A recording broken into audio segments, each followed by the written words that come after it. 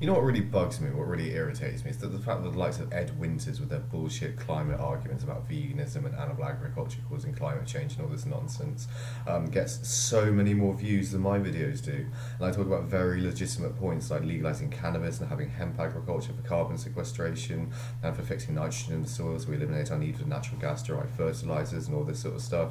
And that obviously gets downplayed in the ratings, doesn't it, on YouTube, Google, etc.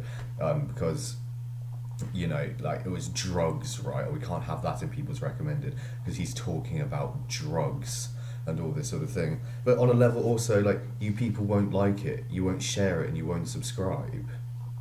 So like the message is not going to get out there. I'm sorry to say, it's not just an algorithm thing. It's not just a marketing agencies and a government corruption YouTube algorithm thing and having you know government policies dictate what happens on the internet and so on. It also does come down to you I'm really sorry. This is like this stuff about cannabis farming and hemp agriculture. I've sort of gone off the deep end really by doubting climate science at all now, and and doubting the man-made model of climate change and so on.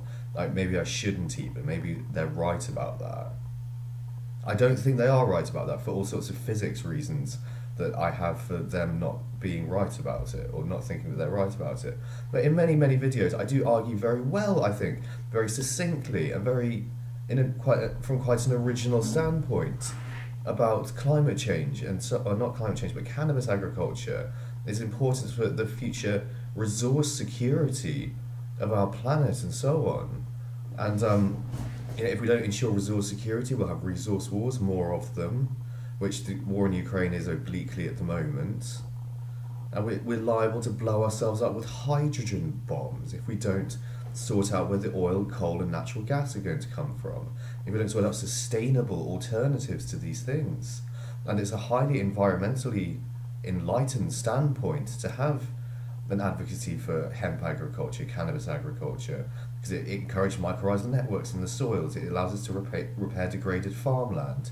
It can even phytoremediate soils after having been after having had a nuclear war. So if we have a nuclear war, then it will be absolutely essential.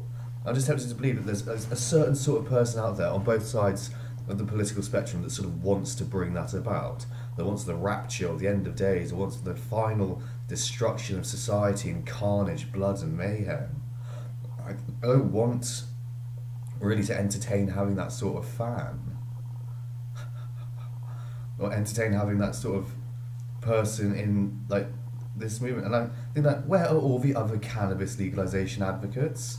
I, I put out this video on um like this deep dive on cannabis legalization. Again, like it didn't get the views that I really wanted it to do. It got three likes, that's fine. There's three nice people out there who like it and understand the importance of that sort of thing, it seems. And um, yeah, but like only three people though. Like really? Come on. And I put out this video on fucking trolley problems, this abstruse shit in philosophy. Oh, that gets 196 likes though and 3,000 views. Like, why the fuck is that? Like, really? Why is it? Is it like, um, because I put out videos about veganism, criticizing the vegan movement ages and ages ago? Maybe it is that even still. And they got like web bots crawling my ass and reporting it automatically bringing it down in the fucking ratings on YouTube and shit like this. I can't fucking stand this nonsense. Like, what what do I have to do other than really be an advocate for hemp agriculture and cannabis farming to in, ensure my status is environmentalist hippie activist type? Is that not good enough for you? I'm skeptical about climate change as well, and I think there's far more important things that we should be sorting out from a from a from an environmentalist standpoint, such as habitat loss, deforestation, polluting the oceans, ocean acidification, I grant you that may be a big issue that we have to face in the future, fine.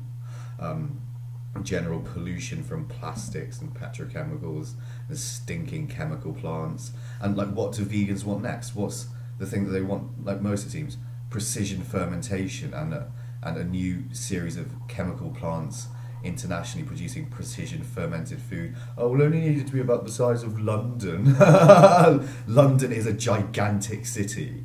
So you want a gigantic, sprawling mass of chemical plants, of breweries, basically. Great, stinking, horrible breweries brewing basically your food for you. Some weird form of cheese that's made with some nutrients, right? There has to be farms. Like sugar. Yeah, where's all the sugar gonna come from then? Do you see what I mean? I mean, fermentation involves, if nothing else, sugar, of course.